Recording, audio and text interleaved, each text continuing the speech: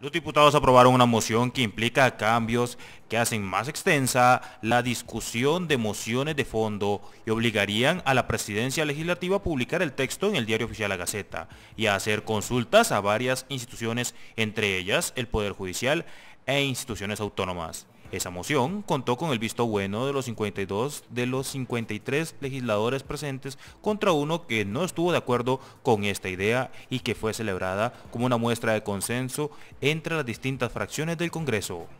El país pasa por momentos muy complejos en materia, eh, en materia fiscal, en materia financiera y, esto requiere y demanda un compromiso responsable de todas las fracciones.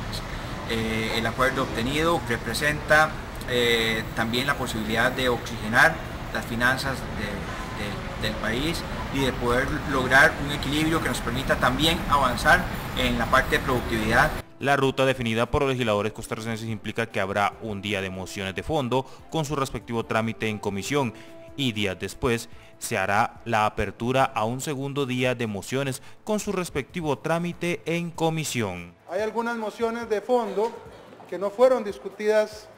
eh, aún en su trámite en comisión, lo ha advertido así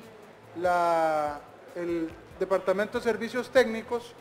y esta es una magnífica oportunidad para que lo subsanemos. La medida de seguir con el trámite rápido o procedimiento 28 bis, pero por una ruta más larga, fue celebrada por el presidente costarricense Carlos Alvarado.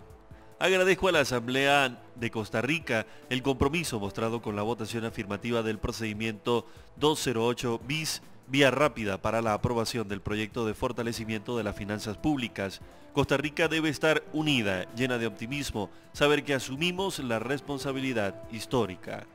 En tanto que la ministra de Hacienda, Rocío Aguilar, considera necesaria esta reforma como parte del plan de saneamiento de las finanzas en este país centroamericano y la idea es entonces aprovechar este expediente que tiene pues temas bien importantes, sobre todo el impuesto al valor agregado, como diría yo, el machete para luchar contra la evasión eh, y además recuperar la confianza de los mercados, la confianza de los, eh, nuestros acreedores para poder seguir haciendo, digamos, sobre todo un mejor manejo de la deuda que hoy día tenemos encima.